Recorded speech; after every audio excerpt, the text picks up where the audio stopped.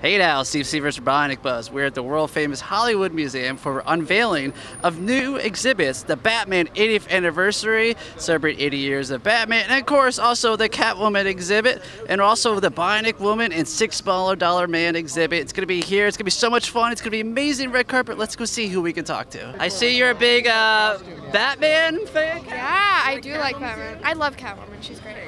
All right. Well, I'm asking everyone if you could wear one Catwoman costume for the exhibit here, which one would it be? Ooh, I really liked the original. The original was really cool, and it's kind of like you know, like the OG one that everybody kind of like knows. Yeah. So I, I really like that one. Very cool. We're actress, singer. What's coming up? What can fans expect? I'm an actress and a singer. I was in Modern Family. I wrote a couple songs that I'm hoping to record soon. So definitely be on the lookout for that. So follow me on my Instagram to know about that. It's just Alyssa D. Very cool. We'll follow your journey going forward. Pleasure to meet you.